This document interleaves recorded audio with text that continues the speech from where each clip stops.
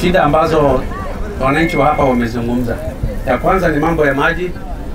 Hii jambo ni jambo ambalo tulijaribu kutatua kwa muda mrefu, lakini kwa bahati nzuri ningependa kuwajulisha ya kwamba tumepata pesa e, kutoka hii program ya e, barabara kutoka Isiolo mpaka Wajir na wakishirikiana pamoja na Red Cross na tumepata karibu shilingi milioni mia nne ya kuleta maji hapa Modogashi, na hiyo e, jukumu limepewa Kenya Red Cross ambao pia walipata pesa shilingi milioni 80 kutoka British Red Cross, na wao ndio wanasimamia sasa, wako kwa design state, na hivi karibuni wata advertise ili watu wa hapa waweze kupata maji.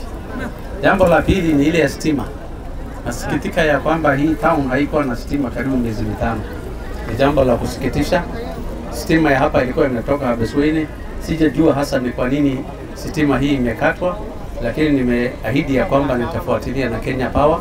Kesho nitazungumza na managing director ama nitaenda kumwona ya kwamba eh, kuhakikisha ya kwamba tumepata eh, mambo ya sitima tumetatua. Mungu shukrani, na pia jamii ya Modogashe